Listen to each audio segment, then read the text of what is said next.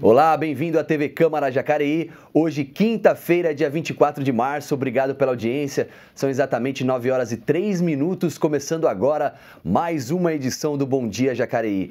No nosso telejornal de hoje, nós vamos conversar sobre a sessão ordinária realizada ontem aqui no plenário da Câmara, que aprovou projetos de lei do prefeito Hamilton Ribeiro Mota, entre eles o que amplia aí cargos de assistente de serviços municipais aqui na cidade. Tem também reportagem que mostra o aumento no fluxo de veículos veículos nas ruas próximas às escolas, isso em horários de entrada e saída dos alunos. Quem vai buscar os filhos na escola sabe como é difícil essa simples tarefa de estacionar nesses locais. Esse e outros assuntos você confere aqui no Bom Dia Jacareí. Ao meu lado, aqui o jornalista Elton Rivas e você está sintonizado na TV Câmara Jacareí, sempre no 61.4 aberto digital e também 12 na sua operadora net de televisão.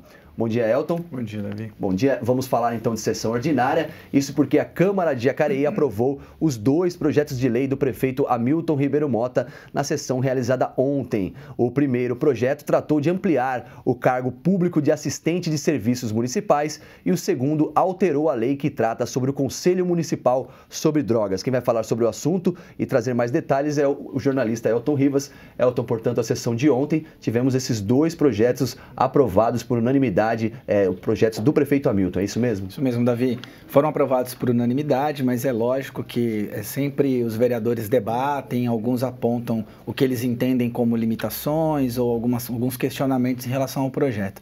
Então, mas sim, tivemos esse, essa ampliação, 70 novos cargos de assistente de serviços municipais deixando claro que essas vagas elas têm relação com o último concurso é, realizado pela prefeitura, então não necessariamente significa que vai haver um novo concurso.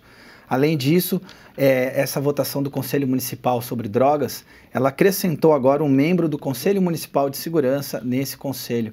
Ela tem aí como objetivo esse conselho debater as políticas municipais em relação ao enfrentamento da droga. A droga que não é só um problema de segurança, mas também um problema, é, a gente sabe, de saúde pública. É necessário, então, uma articulação maior entre os diversos. É, as diversas secretarias, os diversos segmentos do poder público, né, dialogar também com outros, com o Estado, com polícia militar, para que haja um enfrentamento desse problema, que é um problema que está muito presente aí também em nossa cidade. E por último, o vereador Maurício Raca, ele adiou o seu projeto, ele tinha um projeto que dizia respeito à adoção de áreas de proteção permanente, áreas de preservação. São essas áreas de preservação que não podem ser derrubadas, que têm uma importância ambiental, ou porque preservam aí nascentes de água ou, ou mata. Essas áreas, de acordo com o projeto do vereador, elas também poderiam ser adotadas por empresas privadas, assim como são jardins e praças. Esse projeto foi adiado, porque os vereadores é, questionaram o vereador Maurício Raca, autor do projeto, para que nessas áreas de proteção permanente não pudessem ser colocadas placas de publicidade ou aquelas placas que dizem essa área é preservada com o apoio da empresa tal, como é feito com jardins e praças. O entendimento de sete vereadores que questionaram essa, essa proposta era que essas áreas de proteção permanente elas devem ser apenas para fins de preservação ambiental. O vereador então optou pelo adiamento da votação do projeto e o projeto deve voltar em alguma outra sessão. O Elton, e essas vagas eh, de assistentes de serviços municipais, ela tem relação também direta com as novas escolas que foram criadas aqui no município? Como que é isso? Sim, houve uma ampliação né, de escolas, do Educa Mais, quer dizer, isso vai gerar novas salas, novas é, bibliotecas, então isso também gera uma necessidade maior, uma demanda maior por esse tipo de serviço. E aí o entendimento da prefeitura é que é necessário, então, a ampliação dessas vagas, e aí são novos servidores públicos efetivos que vão ser aproveitados do último concurso para estar tá ocupando essa função.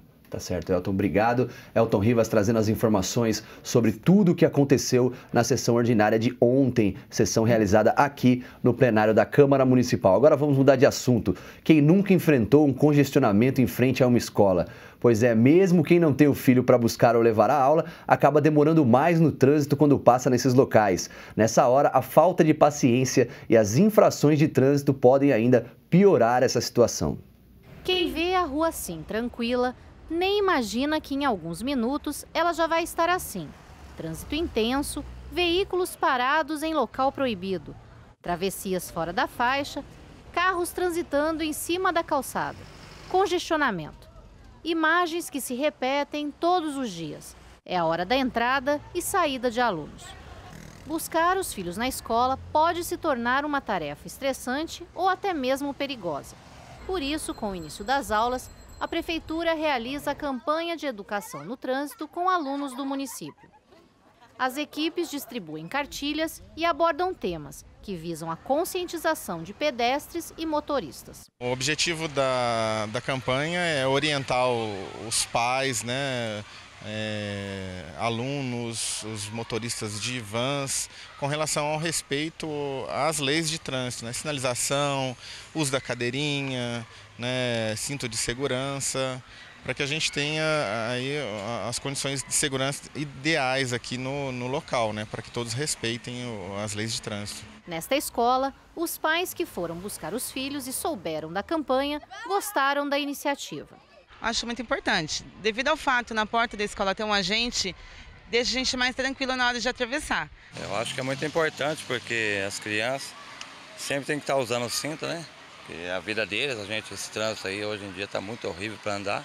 Eu trago ele todo dia, uso o cinto, cadeirinha dele atrás também, ele usa cinto também. E é muito importante essa, esse folhetinho que elas estão dando para a gente estar melhor informado. Eu acho bastante importante. Aqui em Jacareí, durante o período de férias escolares, há uma redução em média de 10% no fluxo de veículos que transitam pela cidade todos os dias.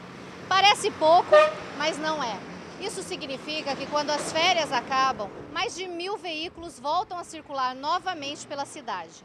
E é nesse período de volta às aulas que os motoristas mais cometem infrações, principalmente quando não há a presença do agente de trânsito. Eu acho assim que o trânsito tem que ter mais respeito, por causa que se não for os guardinhas assim, eles não param para a gente poder atravessar a rua. Eles não param, não.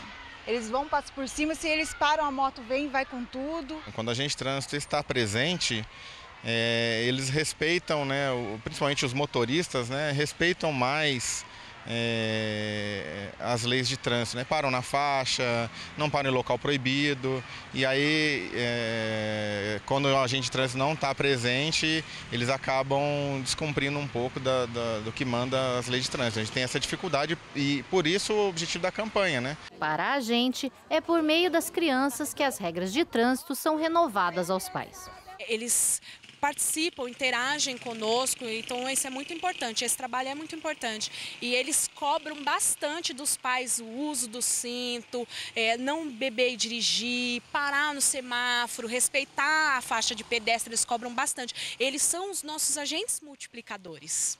Até o final de abril, a Diretoria de Trânsito pretende intensificar a ação em todas as escolas, da rede pública e particular da cidade. A gente é, faz todos os dias na, na, em algumas escolas da, da rede municipal, na, na grande maioria delas, a, a, orientação com um agente de trânsito. Ele fica, na verdade, é um apoio né, para travessia, para segurança na, nas escolas onde a gente tem um volume maior de trânsito nesses horários de entrada e saída. O aluno Luiz Gustavo já sabe bem como orientar os motoristas. Eu acho que não pode passar no sinal vermelho e não usar celular durante uh, prestar atenção no trânsito para não bater o carro, senão pode sofrer um acidente muito grave. Tá aí as nossas crianças dando exemplo aí para muitos adultos, né, Elton? Quem tem filho na escola sabe que realmente é muito difícil parar o carro para buscar as crianças, ou até mesmo quem precisa passar nessas avenidas, nessas ruas aonde tem escola, encontra sempre muita dificuldade que o pessoal para em cima da calçada, para ali do lado, e essa campanha é importante para reeducar os nossos motoristas, né? É, lembrando que o pai ele é o exemplo do filho, né? Então a gente também não adianta reclamar de um monte de coisa e na hora que a gente vai agir, né, é uma atitude que não é correspondente com aquilo que você espera que o seu filho faça. Então realmente é importante. É um problema, a cidade, todas as cidades enfrentam isso, os pais que param em fila dupla, algumas escolas criam algumas alternativas para essa questão, mas é importante que a prefeitura também não apenas puna, mas faça uma campanha educativa para a gente conseguir ter um novo comportamento. Isso é o mais importante de tudo isso. É verdade. Parabéns então à Secretaria de Trânsito por esse trabalho. E no próximo bloco nós vamos apresentar algumas atividades dos parlamentares aqui da cidade. Tem também previsão do tempo e mais um episódio da série Memórias de Jacareí, além de outras informações exclusivas para você. O Bom Dia Jacareí volta em instantes, agora 9 horas e 13 minutos.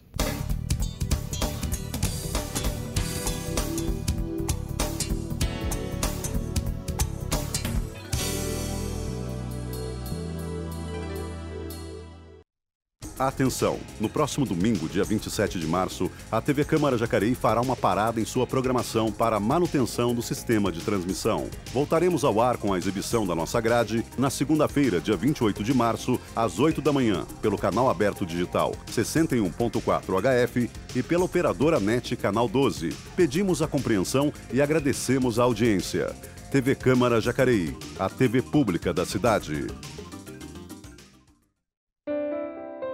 O que o meu filho aprende na escola vale para a vida inteira. É por isso que o Ministério da Educação, em parceria com as secretarias estaduais e municipais, professores e especialistas, vem trabalhando na construção da Base Nacional Comum Curricular, para que todas as escolas tenham uma Base Nacional Comum Curricular, que ajude a definir o que precisa ser ensinado na educação básica. Acesse o site e participe! Uma pátria educadora se faz com a participação de todos.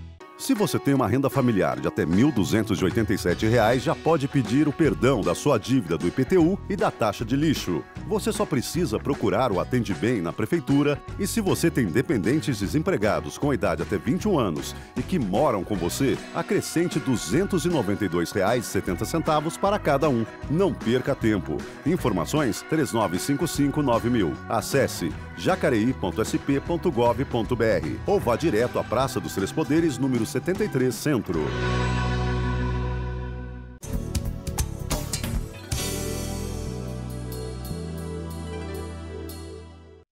É isso aí, já estamos de volta aqui com o Bom Dia Jacareí. Agora 9 horas e 15 minutos pelo horário de Brasília. Chegou a hora do momento legislativo. Hoje quem nos traz as informações é o jornalista Elton Rivas.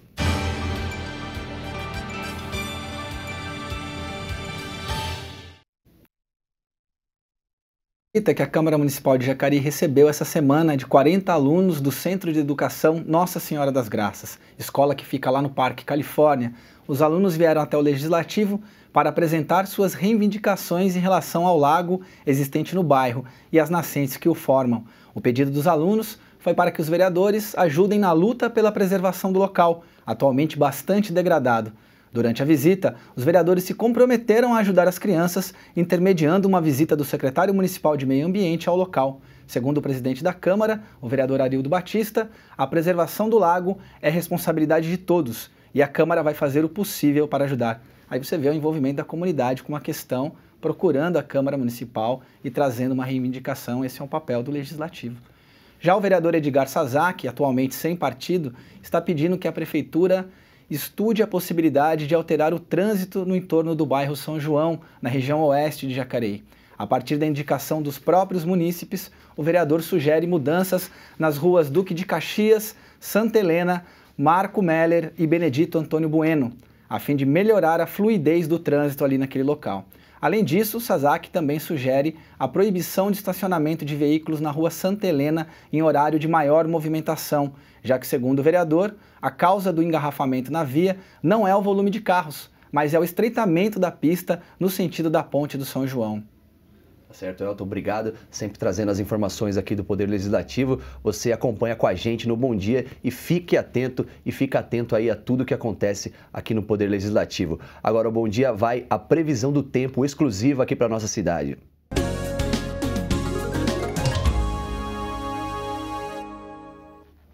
É, e deve chover durante boa parte do dia hoje aqui na nossa cidade. Nuvens carregadas estão aqui em Jacareí e com isso a umidade relativa do ar fica em 73%. A chance de chuva chega aí aos 60% hoje. A mínima deve marcar 19 e a máxima será de 27 graus. Essa é a previsão para hoje aqui na nossa cidade. Amanhã, feriadão, o tempo não muda muito. A umidade estará em 67% e a probabilidade de chuva é de 92 32%. As temperaturas variando aí entre 20 e 28 graus. Essa é a previsão para amanhã. No fim de semana também vai fazer calor, tanto no sábado quanto no domingo. A umidade do ar nos dois dias estará em 90% e teremos 96% de chance de chuva. Os termômetros marcarão entre 21 e 31 graus, portanto, devemos ter um, um feriado de chuva. Feriado de chuva aqui na nossa cidade, chuva amanhã e também expectativa de chuva para o final final de semana. E agora que você já sabe a previsão do tempo, vamos saber a localização dos radares móveis aqui em nossa cidade. Nesta quinta-feira, os radares estarão nas avenidas Pensilvânia, São Jorge, Elmira Martins Moreira, Lucas Nogueira Garcês, Dom Pedro I e Presidente Humberto de Alencar Castelo Branco.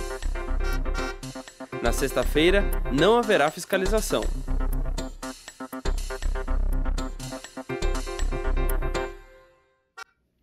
Vai até o dia 29 de abril o prazo para a entrega do imposto de renda. O programa e os aplicativos para fazer a declaração já estão disponíveis. Sérgio Golini é quem nos traz as informações. O programa da declaração do Imposto de Renda Pessoa Física 2016, com ano base 2015, já está disponível no site da Receita Federal. O prazo para entrega da declaração termina no dia 29 de abril e quem perder o prazo está sujeito a multa de 1% do imposto devido por mês de atraso, ou de R$ 165,74, prevalecendo o maior valor. A multa máxima equivale a 20%. O contribuinte pode fazer a sua declaração através do computador, smartphones ou tablets, com aplicativos disponíveis na versão Android e iOS. A versão online da declaração também já está disponível no Centro Virtual de Atendimento para usuários com certificado digital. A estimativa para este ano é que cerca de 28,5 milhões de contribuintes apresentem à Receita Federal a declaração do imposto de renda. Sérgio Golini para a TV Câmara Jacareí, a TV pública da cidade. Obrigado, Sérgio. Fique atento então à entrega da declaração do imposto de renda. E agora vamos às opções de lazer e programas culturais que acontecem aqui na cidade. Como de costume, é a Maiara da Mata quem nos traz as informações. Olá, Maiara, bom dia. Olá, Davi, bom dia, bom dia a todos vocês. Hoje é dia de cinema de quinta na Sala Mário Lago.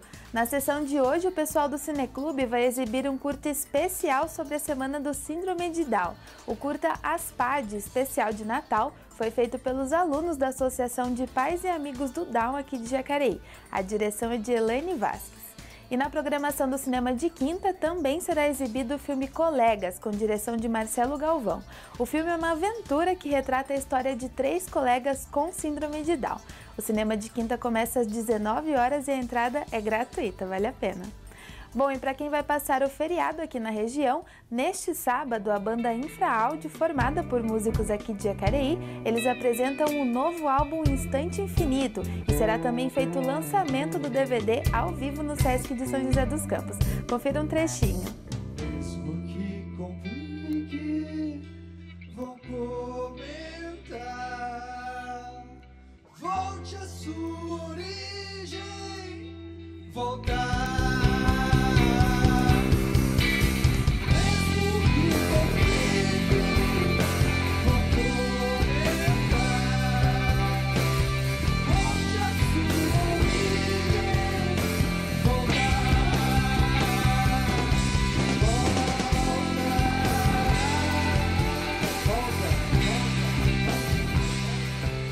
Muito bacana, vale a pena prestigiar. Lembrando que o lançamento está marcado para as 18 horas deste sábado, lá no espaço de convivência do SESC em São José dos Campos. A entrada é gratuita, vale a pena prestigiar.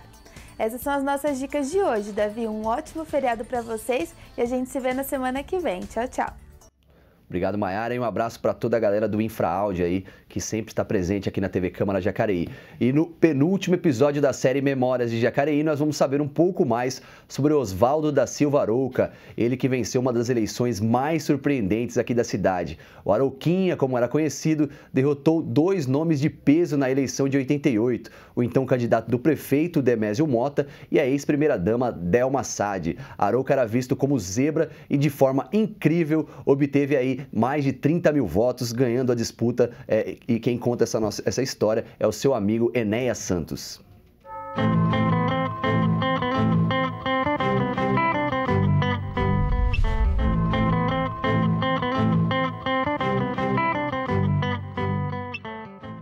O Aruca foi uma pessoa, digo, que tinha o dom divino. Calmo, pessoa que tinha uma tranquilidade a toda prova, respeitador, amava os seus amigos e os seus semelhantes como nunca, nunca me lembro de ter conhecido outro. Respeitava inclusive aqueles que tinham opinião, opiniões diferentes e até mesmo os seus adversários políticos. E realmente era uma pessoa bem intencionada, foi uma pessoa das mais honestas que eu conheci, pessoa íntegra e nunca teve em Jacareí, respeitando a todo, uma pessoa tão preparada para exercer a função que ele exerceu como o Dr. Oswaldo da Silva Arouca. Em 1988, é, até quase que não, a gente já nem, nem contava que ele fosse, mas falou, ele procurou os amigos, falou, Inés, eu vou ser candidato a prefeito. Poxa, vai, que bom e tal. Agora, eu não tenho dinheiro para gastar em campanhas eleitorais e se tivesse, jamais gastaria. Porque eu acho que eu quero me propor a trabalhar pelo povo de Jacareí falava isso. Eu jamais vou tentar comprar a consciência de qualquer pessoa, mesmo porque eu não tenho condições para isso. Tanto que a campanha dele foi uma campanha muito humilde, pobre mesmo. Ele conseguiu, não sei até nem quem que emprestou um caminhão velho, que às vezes até para andar era difícil. Conseguiu um, um aparelho de som que mais que falhava do que funcionava, que não tinha grande alcance para fazer os comícios públicos. Naquela época era essencial o comício público em tudo quanto era bairro, em tudo quanto era lugar. E o pessoal costumava analisar a eleição pela, pela frequência aos comícios. Dava até dó de ver os primeiros comícios que nós realizamos e contava às vezes contava 8, 9, 10, 15 pessoas, era até. Eu, eu, mas ele não dizia, não, Enés, mas esse é bom, porque esses aí são realmente nossos amigos. Nós temos que propor o nosso e programar o nosso programa de trabalho. Eu também, na ocasião, quando ele estava chegando a época, eh, eu fui conversar com esse candidato a, a prefeito, capitão Pinheiro do Prado, Joaquim Pinheiro do Prado, da qual eu fui um dos líderes e pedi para ele, ele falou, nossa, Enes, não sei, essa pessoa nem você precisava pedir. Quando eu fui conversar com ele, eu estou sabendo por aí, ele vai contar com o apoio meu e de toda a turma que realmente gostar de mim. E realmente, também aquele, aquele pessoal, grande maioria daquele pessoal, engajou-se na campanha dele. Isso deve ter ajudado um pouco, mas mais mesmo foi a, o, o, seu carisma pessoal, a sua maneira de tratar o povo, o excelente desempenho que ele teve na gestão anterior como secretário de, de, de, de, finanças, de finanças do município, que ele fez, ele foi um secretário fabuloso certo?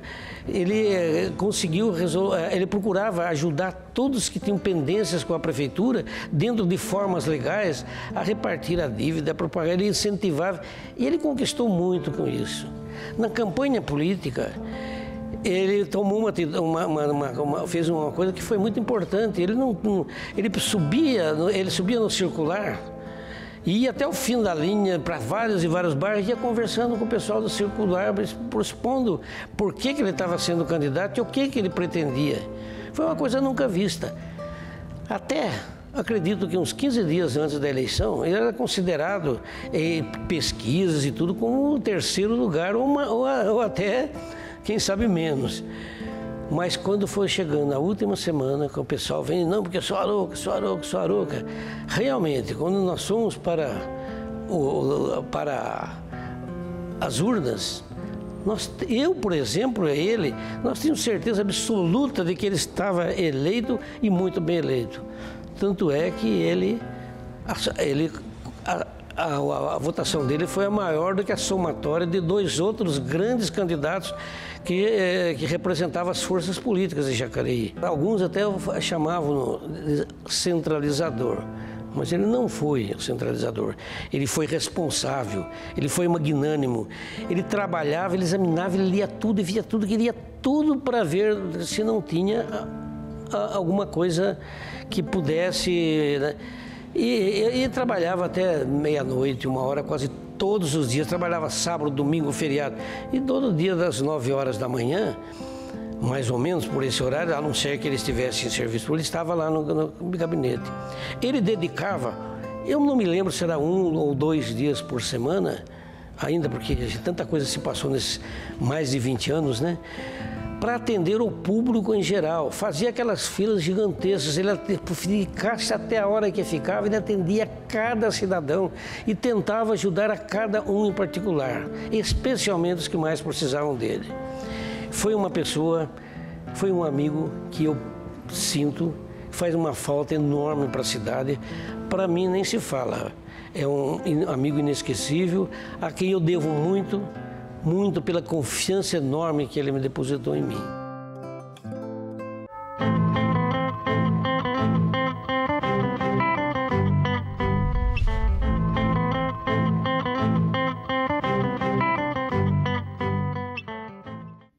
Esse foi mais um episódio da série Memórias de Jacareí, né, Elton? Mais uma produção aqui da TV Câmara Jacareí, resgatando a história, resgatando um pouco da cultura aqui do nosso povo, né? Muito bem, Davi. Esse, essa semana, amanhã, é o último episódio dessa série Memórias de Jacareí. Nós já fizemos vários programas do, dentro do Memória sobre a cidade. Dessa vez, o Rodrigo Romero, que é o repórter responsável por essa série, ele foi atrás aí da história dos ex-prefeitos aqui, né? nos últimos ex-prefeitos da cidade. Então amanhã estreia o episódio do Telmo de Almeida Cruz, dessa série. E o Arouca, que foi vereador aqui na legislatura anterior a essa que estamos agora, foi vereador na Câmara Municipal, encerrou sua vida pública então como vereador da cidade de Jacareí. Então, e a série continua, Memória de Jacareí continua em busca de histórias do nosso passado para entender nosso presente projetar um futuro melhor. Bonito isso. E lembrando então que esse último episódio da série Memórias de Jacareí vai ao ar amanhã às 18 horas no Notícias de Jacareí, que é o nosso telejornal aí que resume tudo o que aconteceu na semana com as principais reportagens e os principais acontecimentos aqui da cidade. E no próximo domingo, dia 27 de março, a TV Câmara Jacareí ficará fora do ar ao longo do dia, isso por conta de uma manutenção que será realizada aqui no sistema de transmissão da nossa TV pública. Lembrando que na segunda-feira, dia 28 de março, às 8 horas da manhã, a grade de programação volta a ser exibida normalmente aqui pelo canal aberto digital 61.4 e também pelo canal 12 da NET. Pedimos desculpas pela interrupção, mas já adianto que essa manutenção irá melhorar a qualidade aqui da nossa transmissão. Muito obrigado pela compreensão. Chegamos ao fim do nosso Bom Dia Jacareí desta quinta-feira, dia 24 de março, ao vivo aqui pela TV Câmara Jacareí, agradecendo a presença do nosso jornalista Elton Rivas. Obrigado pela presença aqui, sempre trazendo informações quentinhas para vocês e agradecendo a você, nosso telespectador, que nos acompanha diariamente aqui pelo 61.4 aberto digital e também 12 na sua operadora net de televisão. Muito obrigado pela audiência, bom feriadão. Nos encontramos então na segunda-feira. Até lá, agora 9 horas e 31 minutos.